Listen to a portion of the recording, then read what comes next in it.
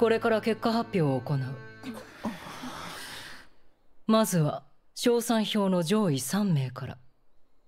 3位は櫛田桔梗。ついで2位だが平田陽介。平田が2位先の集大も大きなマイナスにはならない。それほど平田はこの1年間信頼を積み重ねてきたもさ平田が2位って1位は誰だよ？賞賛表1位は。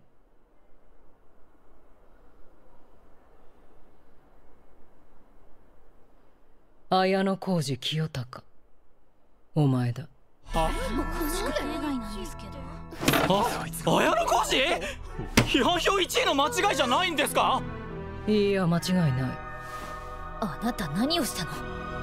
そして批判票の1位は残念ながらお前だ。山内春樹。なんでなんでなんでなんでだよ！こんなふざけたふざけた試験で！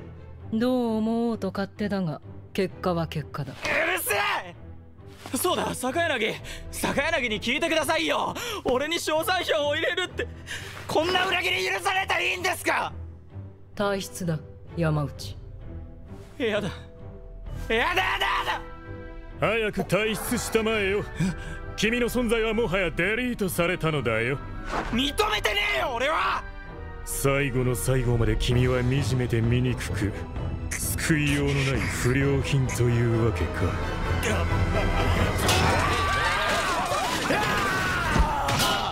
私に殺意を向けたんだ。何をされても文句は言えないよそこまでだ。これ以上はやめておけ山内。お前のためだ。